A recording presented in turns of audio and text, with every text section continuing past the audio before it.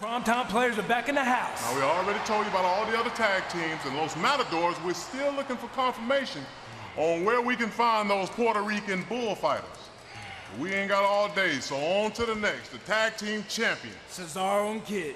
Now, they're two great athletes, and Cesaro is definitely one of the most interesting characters on the WWE rosters. He's interesting, like what makes Cesaro interesting is he's uh he's he's interesting because he uh He's German. Well, actually he's Swiss. Not, not they're the same, but different. All right. He uh you know two things that make him interesting. Right here. A hat and a purse?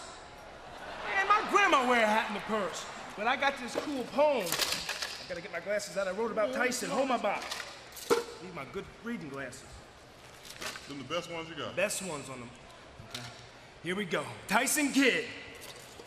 He may have been trained by the Harts, but his charisma is like church when somebody farts. Oh, ain't nobody saying nothing in the church when somebody fart, boy. I ain't done. around I ain't done yet. Now, he's a great athlete, and by no means a wussy. He can't wear the pants in the house. He's whooped by that. Oh, whoa, whoa, whoa, whoa, whoa, whoa. Shut your mouth. I'm just talking about his cats. What cats? The cats are on his trunks. You wear cats on his trunk? He wears cats on his trunks. I ain't know, brother. Man, you about to get us fired. You talking about cats? You know, it's a PG program. Let me drop some knowledge on y'all. That. The primetime players are the best, roughest, toughest, and most entertaining tag team in the WWE. That.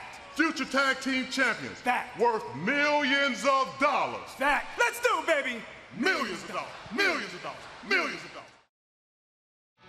Did you enjoy the video you just saw? Yes? Do you want to see more episodes of the same show? Yes? Then click right here on the yes! Yes! Yes! Would you rather relive my greatest moments, including WrestleMania 30? Obviously, yes! Click right here. And finally, do you want to be the first one to know every time I show up on YouTube? There's nowhere else to point to, so click on my beard and enjoy more WWE videos.